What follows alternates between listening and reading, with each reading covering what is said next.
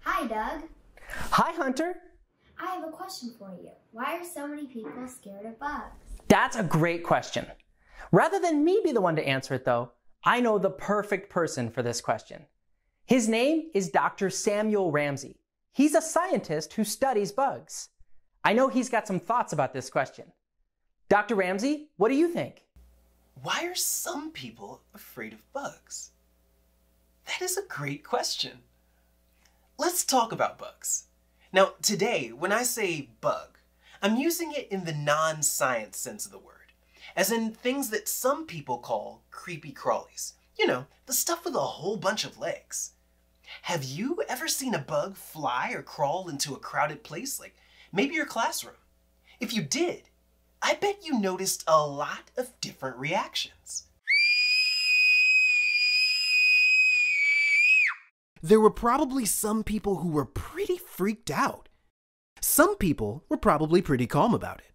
Some people may have gotten excited or even tried to catch it. How about you guys? How do you feel about bugs?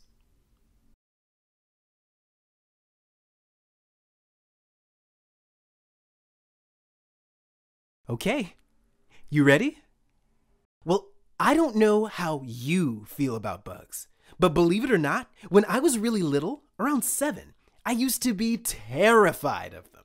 I would have nightmares about bugs and make my dad come into my room and stomp on imaginary bugs before I could go to sleep. I was so scared that I didn't even want to go outside anymore. Now, most people aren't that scared around bugs. But a lot of people think that they're pretty creepy and crawly and pretty much stay as far away from them as they can. Why is that? Could it be that some people feel like bugs are a little dangerous? Like, think about the scary looking spiders or creepy crawlies you've seen in the movies. Or maybe you've seen stinging bugs like scorpions, bees, or wasps in real life. It's easy to understand why some people might get a little nervous around them. These creatures can actually cause pain. But here's the thing most bugs aren't dangerous at all. Consider this bug. Up close, it might look scary to some, and with a name like dragonfly, it sounds ferocious. Can they bite? Can they sting? But guess what? Dragonflies love to eat. They love eating bugs that you personally might find annoying, like mosquitoes and flies. They're amazing hunters. To catch their prey, they make a little trap with their legs and hold the bugs in place with their mouths. Oh, and just think about bees. Bees are one insect that probably cause people the most worry. Who wants to be stung by a bee? It might even be tempting to imagine a world where there are no bees. But if that really happened, it would be terrible. Bees are one of the most helpful bugs of all. They help flowers produce seeds and fruit. It's called pollination. So without bees, we wouldn't have many of the beautiful flowers that we love to look at, or the foods that we eat, like, like apples, peaches, strawberries, and melons. So, mini bugs aren't really all that scary. They're helpful. It's no coincidence that a lot of superheroes like Spider Man and, and Ant Man are named after bugs. In fact, some bugs have incredible skills that almost seem like superpowers. Check out this guy. It's called a Hercules beetle.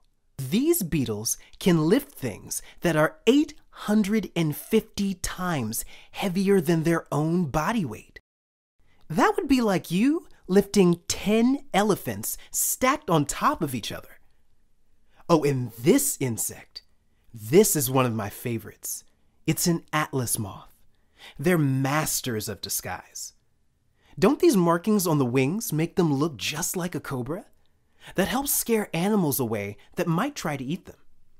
Consider this you and me, we have only two eyes, but bugs have a lot more than that. Have you ever noticed how hard it is to catch a fly?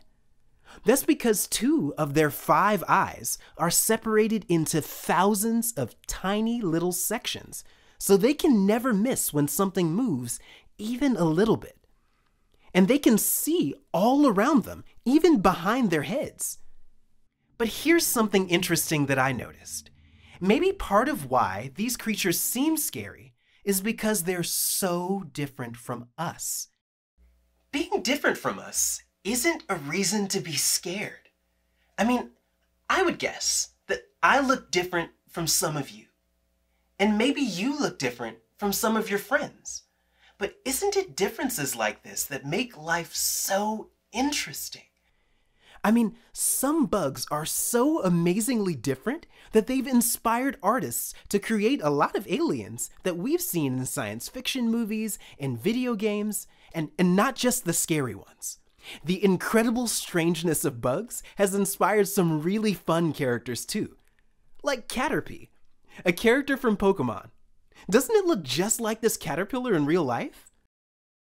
I know that bugs still might look scary to some, but learning more about them can make you less scared. At least, that's what happened to me.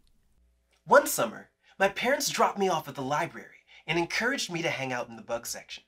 So that's what I did. I read every bug book I could find. And before that summer ended, I wasn't so afraid. I even remember riding in the car with my mom and saying to her, I want to be an entomologist when I grow up. That's what you call a bug scientist. And here I am today. Thanks for listening and for giving bugs a chance. I know they're a lot different from us, but that's what makes them so awesome. That's all for this week's question. Thanks, Hunter, for asking it. And thank you, Dr. Ramsey, for being our guest. Now, we have something special for this week's episode.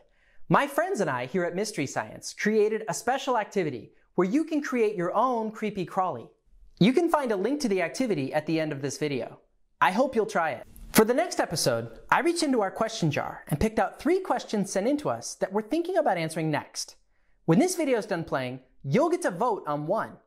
You can choose from Who invented candy? How big can a pumpkin grow? Or why are orange and black the colors of Halloween? So submit your vote when the video is over. I want to hear from all of you watching. There are mysteries all around us. Stay curious and see you next week.